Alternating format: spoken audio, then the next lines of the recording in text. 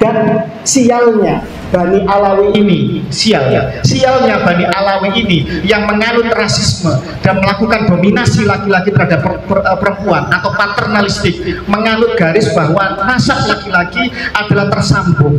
Tetapi nasab perempuan terputus dan klaim mereka yang dengan sembrono mengatakan bahwa nasab laki-laki adalah tersambung dan mereka klaim mereka mengatakan sebagai Al Husaini ibni Ali bin Abi Thalib artinya ini secara genetik mutlak gagal karena apa?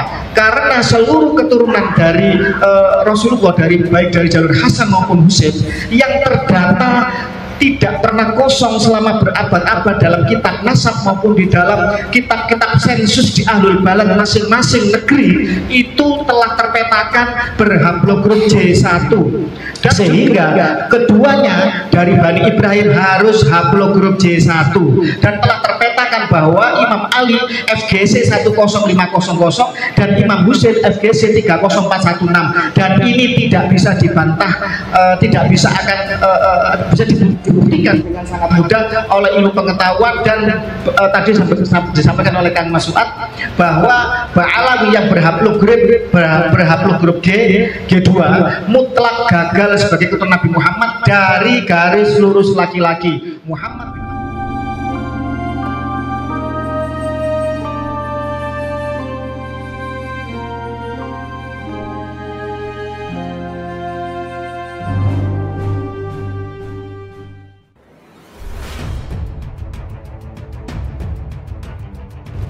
KRT Fakih Wirahadiningrat, yang ngakunya sebagai pemerhati tes DNA tapi bukan pakar tes DNA, namun selalu membahas tes DNA untuk membatalkan nasab Ba'alawi, baik dalam tulisan maupun orasinya, selalu berapi-api mengatakan bahwa nasab Ba'alawi batal sebagai keturunan Nabi ditinjau dari segi kitab nasab dan juga tes DNA.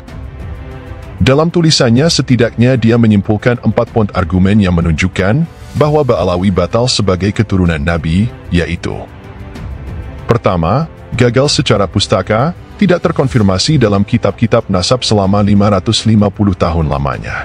Kedua, gagal secara sejarah, terbukti Sayyid Ahmad Al-Abah bin Isa Ar-Rumi, wafat di Najaf, dimakamkan di Wadi As-Salam, dan tidak pernah hijrah ke Hadramaut Yaman. Makam di Yaman juga baru ditemukan berdasarkan takwil mimpi di abad ke-9 Hijriah. Sejarah itu tidak bisa didasarkan pada mimpi semata harus jelas pembuktian ilmiahnya secara kesinambungan. Ketiga, gagal secara genetika karena dari hasil uji tes DNA berhaplogroup Y DNA paternal G2. Sementara keluarga Nabi berhaplogroup J1. Dari sini jangankan sebagai cucu Nabi Shallallahu Alaihi Wasallam, J1L859, atau Ali, J1FGC 10500. Sebagai keturunan Ibrahim saja gagal, J1P58. Sebagai orang Arab juga gagal, merek orang Kaukasia, keturunan Ashkenazi, melalui jalur Yafet putra Nuh. Sedangkan Ibrahim keturunan dari Sem bin Nuh. Artinya, Ba'alawi di masa sekarang, ketemu pada kakek yang sama dengan keturunan Nabi Shallallahu Alaihi Wasallam yang asli, yaitu di titik manusia bernama Nuh pada sekitar 1108 generasi di masa silam. Jadi, Kejauhan kekerabatannya dan mutlak gagal total klaimnya sebagai cucu Nabi melalui jalur Imam Hussein bin Ali. Keempat, gagal secara isbat nasab, baik dari Nakobah Yaman maupun Irak negeri asal leluhur Sayyid Ahmad bin Isa. Dari negeri Yaman bahkan keluarga Nabi yang diwakili mufti Yaman dari keluarga Ar-Rasi Al-Hasani, sudah mengeluarkan fatwa tentang nasab-nasab palsu yang mengaku keturunan Nabi Shallallahu Alaihi Wasallam. Dan itu termasuk keluarga Ba'awi Yaman, yang berbondong-bondong hijrah ke Nusantara atas inisiasi kolonial Belanda, bekerja untuk kepentingan penjajah kafir Harbi Belanda, menumpang gratis kapal Belanda, dapat tanah, gaji dan fasilitas warga elit di atas pribumi Nusantara. Untuk menjawab kesimpulan ngawur KRT Fakih tersebut, silakan disimak penjelasan berikut ini. Pertama, gagal secara pustaka, tidak terkonfirmasi dalam kitab-kitab nasab selama 550 tahun lamanya. Menanggapi pernyataan ini Rumail Abbas memberikan jawaban telak. Telah pustaka yang terstruktur dan rapi akan mengantarkan pada kita bahwa kesunyian 550 tahun adalah kesimpulan yang terlalu mengada-ada. Sejarah, sebagaimana ilmu pengetahuan pada umumnya, seharusnya taat prosedur. Telaah yang menaati prosedur tidak akan sembrono seperti itu. Keseriusan mencari naskah-naskah tua yang tidak tersebar di internet, bajakan dan dibubuhi watermark, akan membawa pembacanya pada bukti material yang bertumpuk, banyak, dan sulit untuk ditepis bahwa leluhur Baalawi itu faktual, historis, dan nasabnya dikenal banyak orang. Yang diperlukan cuma satu, kemauan untuk mencarinya.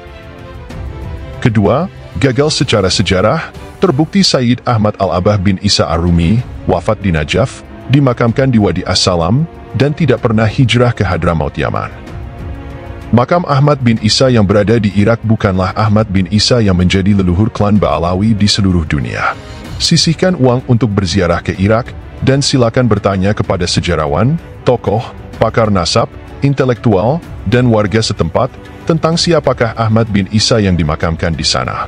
Kalaupun mau irit, tinggal email atau menghubungi mereka melalui media sosial.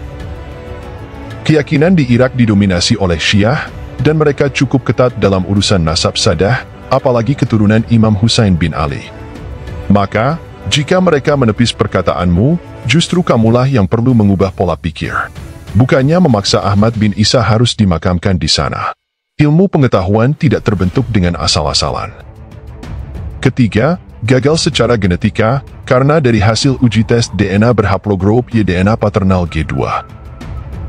Kohanim Samaritan adalah kelompok yang memiliki tradisi nasab yang cukup eksklusif dan kuat penjagaan silsilahnya. Terbukti, mereka pun memiliki ragam haplogroup yang tidak semuanya bermuara ke haplogroup yang dipromosikan sebagai Ibrahimi, yaitu JFGC 8712. Setelah menelaah beberapa cabang Yahudi Kohanim tersebut, berikut disajikan daftar haplogroup untuk keturunan mereka, update kompilasi, 4 Oktober 2023. J2 M318, keluarga Rabi di Jarba dan Tunisia. J2, R, dan G2 Asatwa, klan Spira. R L584, subkelas klan Rapaporto. EM35, klan Nurie. Secara statistik, keturunan Yahudi harus berada di haplogroup J, baik J1, JM267, ke bawah atau J2, JM172, ke bawah.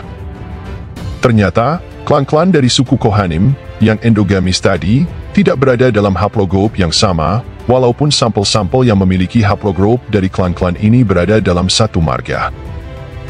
Pertanyaan pertama, kenapa keturunan suku Kohanim, yang bahkan tidak memperbolehkan pernikahan dengan non-Kohanim, meskipun sudah berpindah agama ke Yahudi, memiliki sebaran haplogroup yang beragam, ada di R, G, dan E seperti daftar di atas? Pertanyaan untuk bias historisnya begini.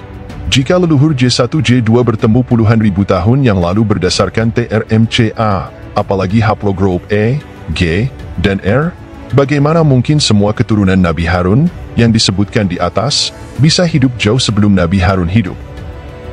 Mungkinkah keturunan hidup sebelum leluhurnya? Hal yang sama juga didapati dalam Yahudi Ashkenazi Levi, hampir 50% berada pada haplogroup R1AM198. Bagaimana menjelaskan bahwa keturunan Yahudi Ashkenazi harus dari haplogroup G ke bawah, sementara mereka sendiri berada pada haplogroup yang beragam sebagai keturunan Nabi Harun? Beberapa Yahudi Ashkenazi yang ditemukan dalam bagian filogeni berada di bawah ZS 2121. Sampel-sampel di bawah ZS 2121 pun masih perlu diverifikasi, apakah benar Yahudi Kohanim atau bukan. Kendati pun demikian, justru keturunan suku Kohanim tidak berada di bawah ZS 2121 seperti Ashkenazi.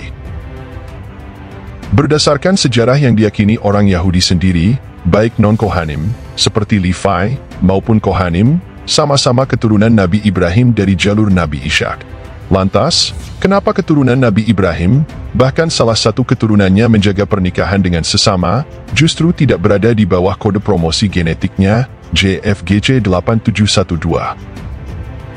Berbagai perdebatan tentang ini sudah pernah terjadi, dan meneruskannya akan membawa KRT Fakih pada kebingungan.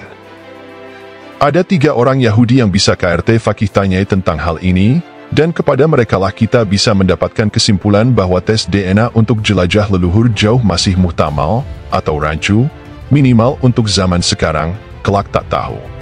David Reich, Ted Kendall, dan Adam Brown adalah tiga Yahudi yang kesehariannya bergelut dengan ancient DNA, punya organisasi nasab, dan saintis pula. Jadi, pakar tidak hanya orang-orang itu saja. Dunia ini banyak ahli selain yang kamu kenal itu.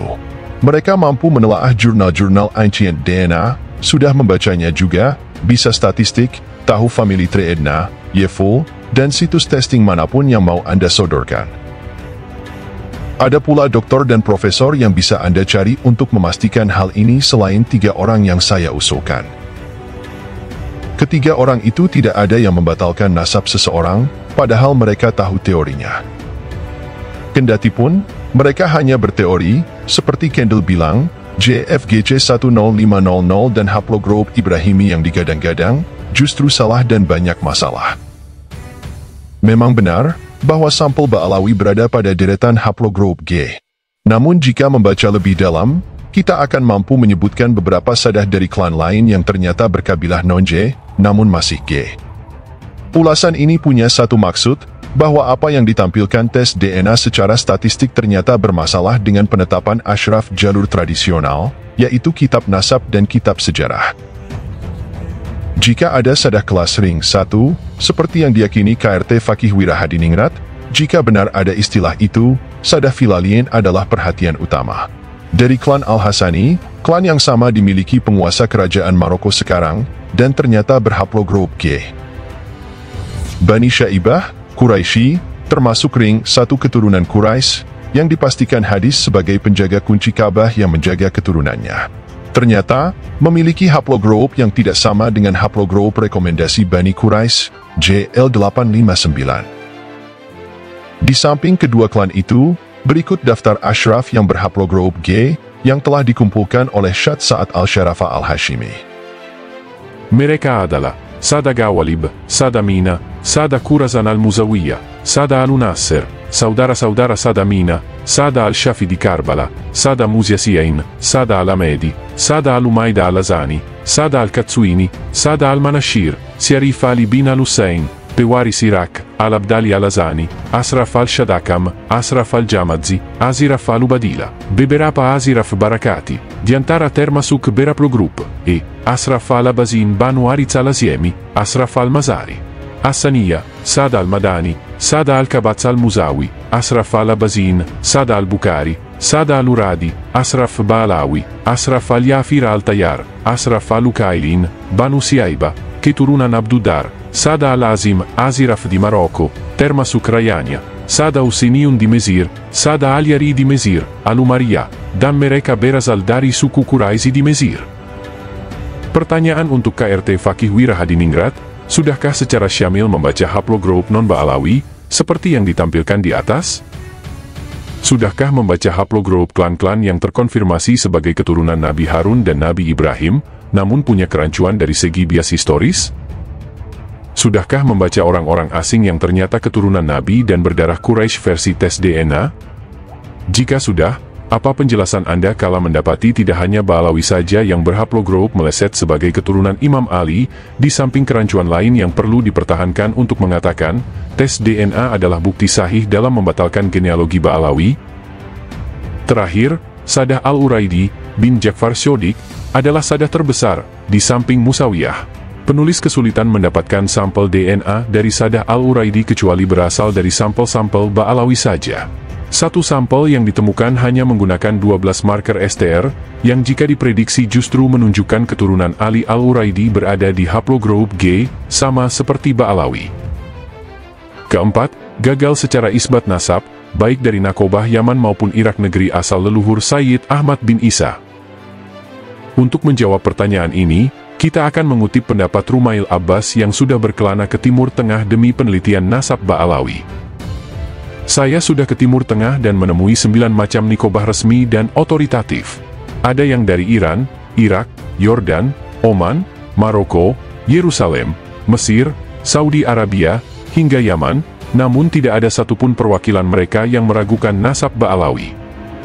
Pertanyaannya, nikobah internasional mana yang membatalkan seperti yang KRT Fakih omongkan terus-terusan sampai sekarang? Resmi atau tidak?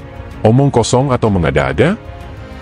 Saya juga sudah menghubungi beberapa ulama yang katanya menolak nasab Ba'alawi, dan ternyata sudah mengoreksi pendapatnya, dan mengakui kesahihan nasab Ba'alawi.